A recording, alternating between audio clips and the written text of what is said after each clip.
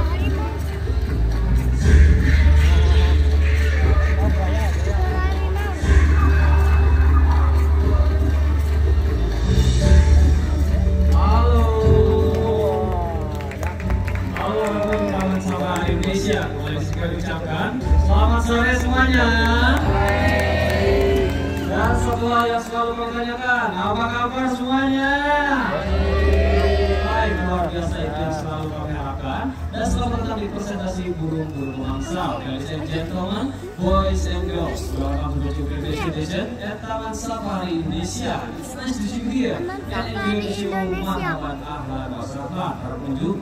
Di mana kesempatan sore hari ini kami akan memberikan kepada Anda bagaimana sisi sini bersama saya Saiful. Temani satu rekan saya ada Om Kanirkan. Mana semangat untuk kanannya dulu.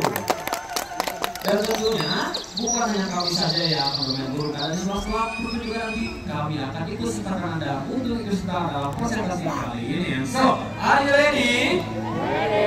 Kurang meriah sekali lagi. Are you ready? Mantap. Dan tanpa sadari, beberapa pesawat burung-burung mangsa sudah mulai kita ada dan belakang anda samping kiri, samping kanan ataupun jauh dari hutan yang ada di atas sana. Mereka akan muncul apabila melihat sesuatu hal yang menarik perhatiannya dan untuk burung mangsa sendiri, apabila musim berkembang biak tiba, mereka akan membuat sarang di atas pohon yang cukup tinggi dengan menggunakan sudah bukan ranting-ranting pohon yang mereka akan susun. Bisa lihat? Itu adalah gambaran dari sarang burung mangsa dan di manakah sang pemilik sarang saat ini berada. Dia sedang berburu jauh di dalam hutan yang ada di atas sana dan dia akan kembali apabila musim berkembang biak telah tiba dan tentu saja sangat memprotek sarangnya tersebut dari berbagai macam gangguan. Dan lihat, ada seorang yang akan mengganggu sarang dari burung mangsa. Apa respon sang pemilik sarang? Karena saat ini sang pemilik sarang,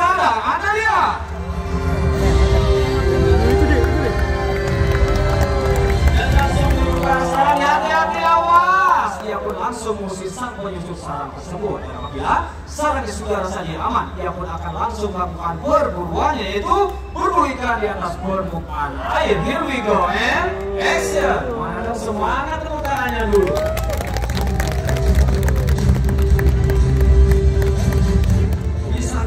Cukup ya reptil yang satu ini dalam menangkap ikan yang berada di atas permukaan air burung mangsa dari jenis elang laut belut putih ataupun white bellied seagull dari mana untuk burung yang satu ini bisa kita jumpai di daerah perairan sisi pantai danau dan juga sungai-sungai besar yang ada di Indonesia. Bahkan reaktor yang satu ini mereka mampu membawa satu setengah dari bobot punya sendiri dan langsung membawanya ke udara. Dan jangan lupa ini aja sosok reaktor terbesar yang ada di Indonesia. The white bellied seagull ada semangat untuk lagi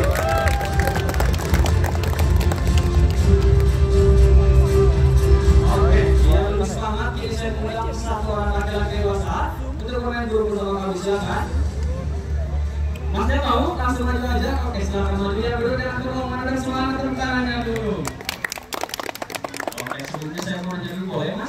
Oke, Mas siapa? Ya, Mas? Mas Pedro. Mas Pedro dari mana? Dari Jakarta. Mas Pedro punya guru? Ketawa Mas Pedro. Mas Pedro punya guru? Oh, di rumah ada ya. Mas Pedro bisa berlari? Pernah bicara anjing sebelumnya? Belum pernah. Tidak cewek pernah? Tidak cewek? Belum pernah ada pacarnya di sana ya. Dan tahukah Anda Mas Ferry ini akan menjadi target poin dari burung bangsa kami setuju semuanya? Ya, dan ternyata burung bangsa kami cukup beruntung mendapatkan bangsa yang begitu besar. Kesempatan sore hari. Oke ya. Akan dibantu oleh kaum peneliti Mas Kedo. Apabila saya bilang apa lari, Mas Kedo harus lari diri dari burung bangsa. Larinya ke mana Om Khalil kalah. Larinya? Dilihat dulu ya Mas. Ini dia, larinya seperti ini. Lurus, belok kanan, dan juga terus. Sampai saya bilang coba putar-putar aja di depan Mas ya. Sampai presentasi kami berakhir. Sudah siap? Sudah siap ya. Oke Mas Kedo, itu dia cukup mudah. Ininya diseret di bawah Mas ya seperti ini sambil lari jangan diputar-putar kayak mau tawuran ya ini aja dipegang terlebih dahulu di sini masih apa keluar keluar keluarganya ada besar-besar terakhir nggak keluar keluarganya Tenang mas ya, apabila menjadi sesuatu, apabila sudah menunggu area parkiran. Dan kali ini, kita akan coba lihat pengunjung dulu seperti apa Yang akan melihat Mas Bede di kesempatan sore hari ini. Mas Bede ini dekat terlebih ya, dekatnya yang bawah. Ini dia, burungnya sudah mengambil ancang-ancang burung mangsa Dan jenis burung ular biru. Dan apa yang akan dia lakukan? Apakah akan merekam lure yang Mas Bede tarik ataupun hanya cuma melihat di sebelah pojok kanan Anda. Dan kali ini untuk grup mangsa, ya untuk grup mangsa, apabila ia sedang mengincar satu mangsa, ia akan mengunci mangsanya terlebih dahulu. Dan apabila mangsanya sudah terkunci, ia pun akan meluncur dengan sangat cepat. Karena grup mangsa, mereka punya indera penglihatan yang sangat tajam, yaitu tujuh kali lebih tajam dibandingkan dengan kita manusia normal. Pasaran ya pengaturnya karena burung yang kami lepaskan tidak ada yang dibatasi semua akan terbang sesuai naluri alamnya mereka. Oke Mas Beda, kemudian beberapa langkah sini. Oke siap-siap Mas Beda ya. Burungnya sudah mulai mengambil ancang-ancang burung mangsa dari jenis burung ular biru karena untuk burung yang satu ini selain menangkap ular, ia juga sering mencari makan yaitu berupa tikus putih yang berada di ladang pertanian. Ini dia, betapa beda, lari yang kencang, belok kanan, stop, stop, stop, stop, jangan ditarik-tarik ya, bukan mobil-mobilan ya. Oke, itu jangan lupa mulai dan semangat tepuk tangannya lagi. Sudah lupa tadi mas ya. Oke, tidak boleh om hadirkan. Gimana perasaannya mas Beda? biasa aja tapi lainnya kan cuma lagi tidak sapo PP ya oke ya oke deh ini stiker di taman sapa Indonesia. Silakan kembali mereka semangat tepuk tangannya lagi.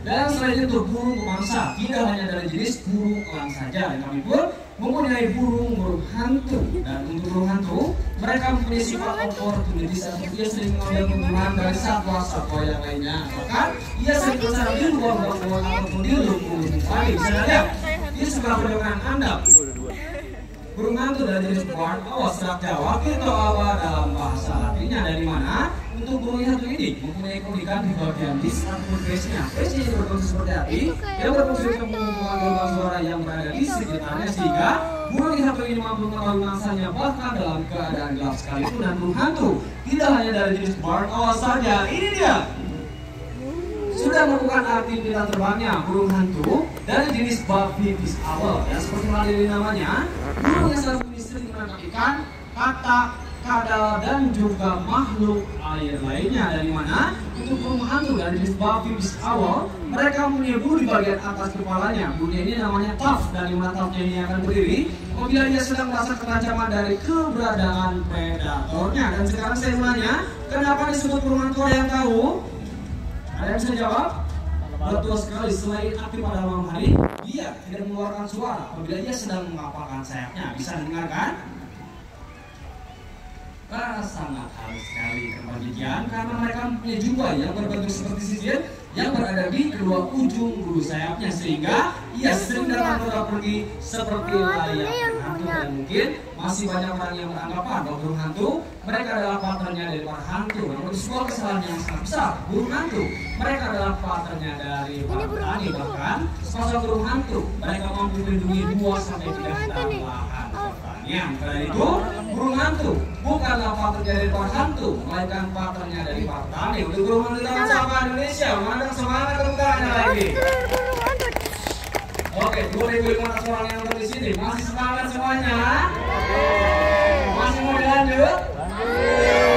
Perjalanan Anda di dalam Sapa Indonesia masih terus berlanjut. Indonesia kaya akan berbagai jenis tugas. Tidak hanya burung-burung bangsa, kami mempunyai burung-burung hampir. Bisa lihat? Di sebelah belakang Anda itu adalah gambaran dari sarang burung hampir yang berisikan hidup betina dan juga anak-anaknya yang berada di dalam sarang. Dari manakah hidung yang jantan saat ini berada? Ia sedang mencari makanan jauh di dalam hutan yang ada di atas sana dan ada dia.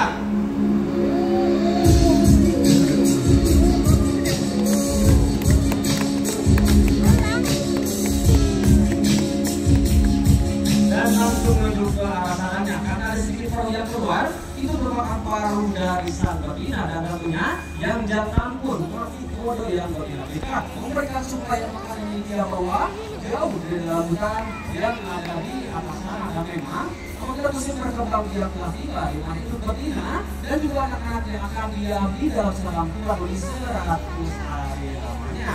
Dan apabila sangat sudah merasa burung melihat dan sudah mampu untuk terbang di itu betina akan mendobrak untuk secara sedikit demi sedikit mempergunakan paruhnya yang sangat kuat membiarkan anak terbang sendiri dan untuk mencari makan sendiri tanpa dibantu oleh hidung jantan dan lihat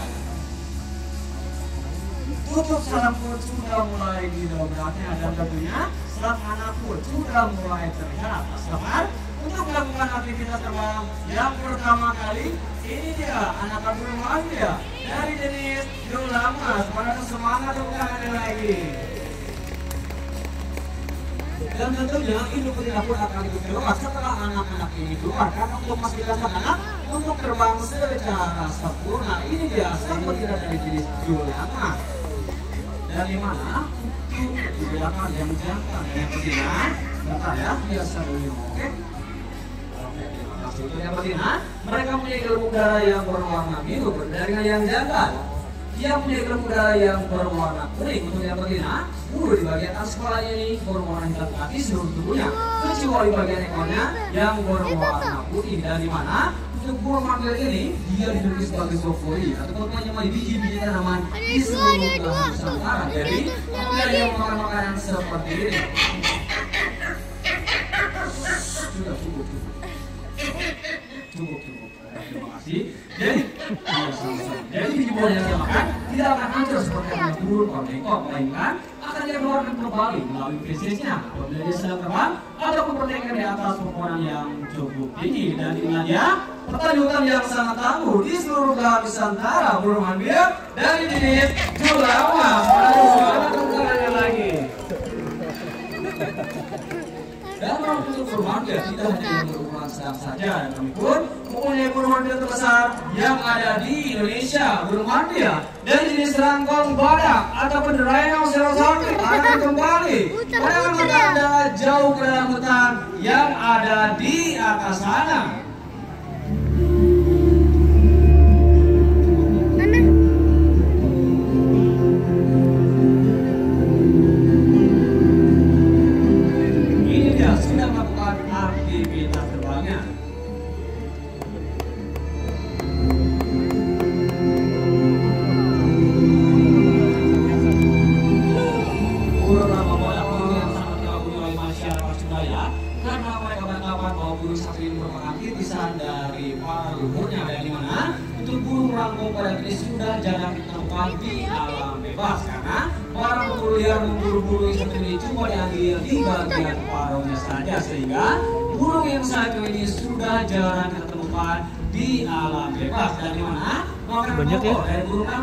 Banyak. yaitu buah dari pohon ara Indonesia terdapat 600 buah pohon ara di mana 200 di antaranya adalah makanan pokok dari burung burung. Hampir dari mana? Untuk pedagang yang jantan dan hidup betina di untuk yang jantan? Mereka mempunyai bola mata yang berwarna merah. Berbeda dengan hidup betina.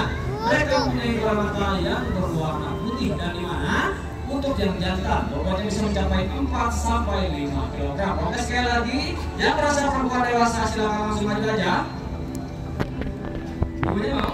Oke, langsung aja aja. Yang kedua teman-teman yang semangat tepuk tangannya lagi.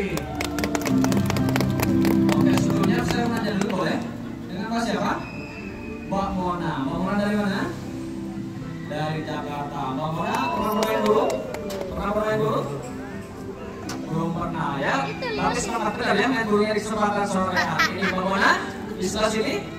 Tangan kirinya diangkat seperti ini luruskan ya. Di sebelah sini. Fokus ke depan biar cantiknya kelihatan ya. Wow, ada semangat tepuk tangannya lagi. Silakan geser ke samping, diambil gambarnya ya. Apabila burungnya betah, ini sampai presentasi kami berakhir di sini, oke? Dan gimana para pengunjung Taman Safari Indonesia dan seperti inilah interaksi burung manggil dengan kita manusia. Gimana bawaan betah? Mantap? Oke, bawa pulang boleh sini ada stiker Taman Safari Indonesia. Oke, terima kasih. Yang mana yang semangat tepuk tangannya lagi. Dan seperti inilah sisi kebiasaan dari burung-burung manggil berjaringan burung mangsa. Di mana burung mangsa, mereka menangkap mangsanya di udara dan tanpa harus berhenti. Ia pun akan langsung memakannya di udara dan selain itu, burung mangsa apabila ia sedang mengincar satu mangsa, ia akan mengunci mangsanya terlebih dahulu dan apabila mangsanya sudah terkunci, ia pun akan muncul dengan sangat cepat. Akan kembali dan ada.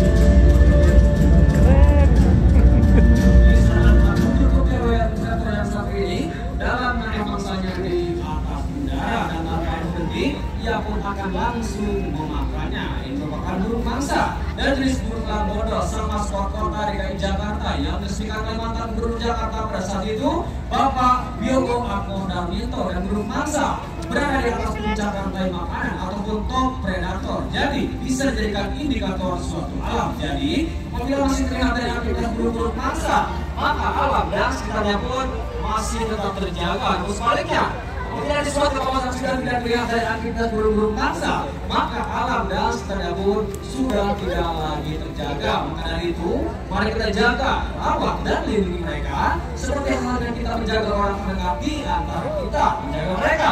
Tidak perlu memeliharanya di area pekarangan rumah, cukup biarkan mereka hidup bebas tanpa mengganggu habitat alam aslinya. Apabila Anda ingin menjadi bagian dari kami untuk menyelamatkan satwa-satwa liar ini, maka jadikanlah kami Taman Safari Indonesia menjadi destinasi wisata Anda, keluarga beserta kerabat. Karena sekali mereka punah tidak akan pernah tercipta kembali. Apa kalian mau mereka punah?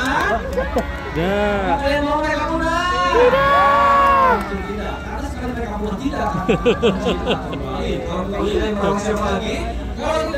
Kapan lagi kita peduli semuanya pun pasti akan lestari. Save our planet and save our wildlife. Cukup singkat perjumpaan kita di kesempatan sore hari ini.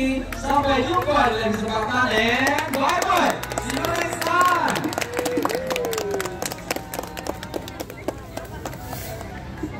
Dan yang sama bisa